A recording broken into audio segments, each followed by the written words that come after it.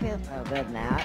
Conker's had a bad night. Well, actually, he's had a very good night. But when Conker wakes up, he has no idea where he is. Oh, can you help me?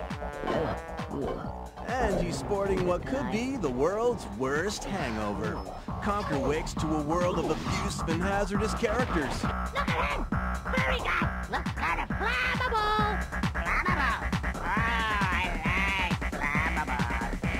Resourcefulness and cunning, he goes full steam ahead into a series of difficult and dangerous situations. See how a really nice guy handles a really bad day in Conker's Bad Fur Day for your N64.